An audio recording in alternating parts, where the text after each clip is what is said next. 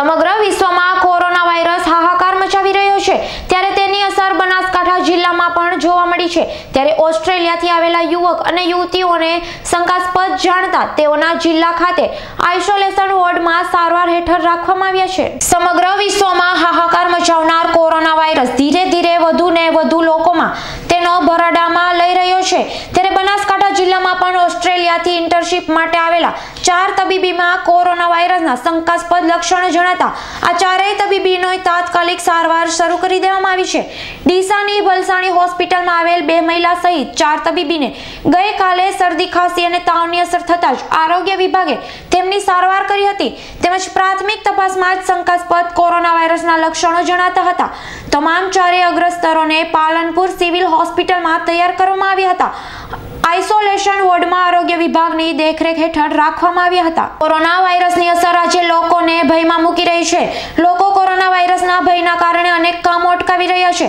તો બીજી તરફ કોરોના વાયરસથી હાલમાં તેની સીધી અસર બનાસકાંઠા જિલ્લામાં પણ જોવા મળી રહી છે.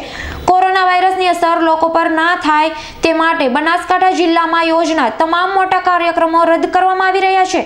આ અંગે ડીસા આરોગ્ય વિભાગના ડોક્ટર જિગ્નેશ હરિયાણીએ જણાવ્યું હતું કે હાલમાં કોરોના વાયરસની અસર અનેક દેશોમાં જોવા મળી રહી છે, જેના કારણે લોકોમાં ભય પણ જોવા મળી રહ્યો છે. આવા સમયે લોકોએ તકેદારીના ભાગરૂપે લોકોએ ભીડભાડવાળા વિસ્તારોથી દૂર રહેવું જોઈએ. લોકોએ હાથ મિલાવવાનું ટાળવું છીંક ખાતી વખતે ધ્યાન રાખવું, આવી બાબતોથી કોરોના વાયરસથી બચી શકાય તેમ છે. ડીસા ભણસાલી ટ્રસ્ટ ખાતે ઓસ્ટ્રેલિયાથી ચાર ડૉક્ટર ઇન્ટર્નશીપ માટે છ વીકની આવેલ હતા. તેમાં બે મેલ હતા અને બે ફિમેલ હતા. તે લોકોને શરદી ખાંસી જેવી તકલીફ લાગતા તે લોકોને કાલે પાલનપુર સિવિલ હોસ્પિટલ ખાતે આઇસોલેશન વોર્ડમાં દાખલ કરેલ છે.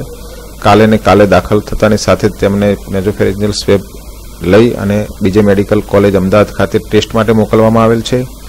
જે ઓસ્ટ્રેલિયાથી ઇન્ટર્નશીપ માટે આવેલા હતા તે પહેલી તારીખે દિલ્હી આવ્યા હતા. દિલ્હીથી તેઓ બોધગયા ગયા હતા અને પાંચ તારીખે ડીસા ભણસારી ટ્રસ્ટ હોસ્પિટલ ખાતે આવેલા હતા. અને તેમની હિસ્ટ્રી જોતા ઓસ્ટ્રેલિયાથી તેઓ સિંગાપુર પણ ગયેલા હતા. એના કારણે તેમને અમે ખાસ આઇસોલેશન વોર્ડમાં રાખેલા છે પાલનપુર સિવિલ હોસ્પિટલ ખાતે. અને આજે બે વાગે રિપોર્ટ આવ્યા પછી તેના આગળ અંગે શું કાર્યવાહી કરવી તેનો નિર્ણય લેવામાં આવશે. પ્રકાશ ગોસ્વામીનો રિપોર્ટ બનાસકાંઠા.